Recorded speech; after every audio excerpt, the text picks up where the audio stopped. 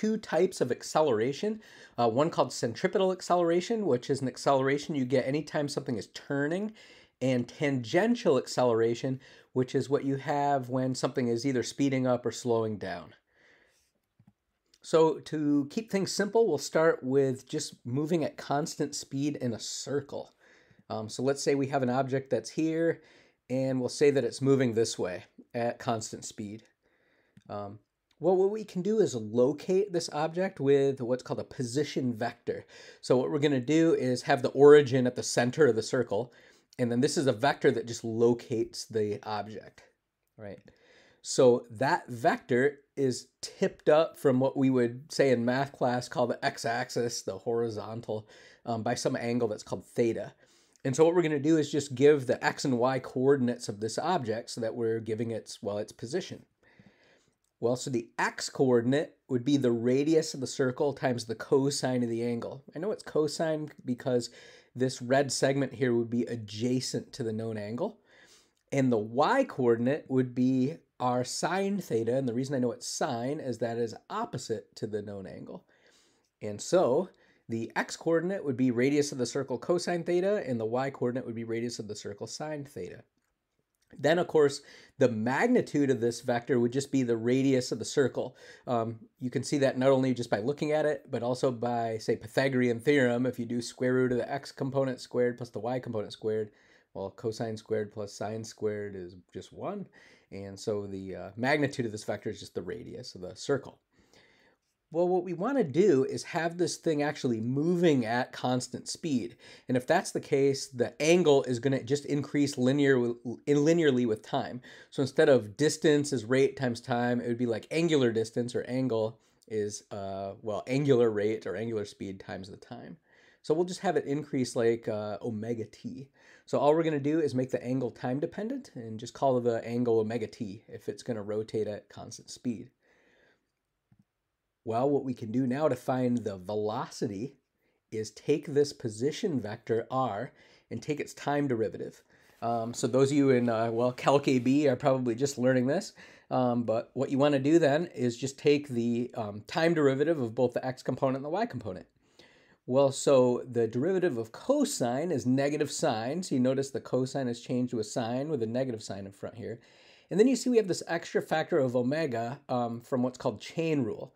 Um, and so the argument of the cosine function has this omega t inside. And so not only do you take the derivative of the outer function, uh, derivative of cosine being negative sine, but also the derivative of the inner function, which is just omega t. Um, so that's where that extra omega comes from. And likewise with the, um, the y component, derivative of sine is cosine, and then you get this extra omega that comes out in front from what's called chain rule. So there's our velocity vector. Now something you notice or could notice right away is that this velocity vector, if you take what's called the dot product, which if you've learned a little bit about vectors, you multiply the x components together and add them to the y components multiplied together, um, you would see that those two vectors happen to be perpendicular to each other. Um, so the dot product of v and r um, is zero. And so what that actually means is we could redraw the velocity of this um, thing as being perpendicular to the position vector um, which most of you probably knew that from common sense. If something's going around in a circle, then the velocity is just along the circle or tangent to the circle. Um, and so there's our velocity vector. Um, and then the other thing we can see from the velocity vector is if you take its magnitude, um, the square root of the x component squared plus the y component squared, um, you'll get that the velocity is just uh, r omega, just the um, the radius times the what's called the angular velocity. So that's all about the velocity vector. Well, if we take the time derivative of the velocity vector um, of this vector here, we will get the acceleration. Well, so let's do it. The derivative of sine is cosine. Um, and then we get this extra factor of omega that pops in the front. So instead of there being an omega in the front, now there's an omega squared in the front. Um, and then likewise, derivative of cosine is negative sine, so the cosine has become a negative sine. And then we also get another factor of omega in the front. Well, what you notice here is that this acceleration vector, um, it has r cosine omega t in the x component and r sine omega t in the y component just like the position vector did. The only difference is both components are multiplied by minus omega squared. So this is key, okay? The acceleration vector it is the same as the position vector, except with a negative sign in front, and it's got a different uh, magnitude. So it's got a negative constant in the front, okay?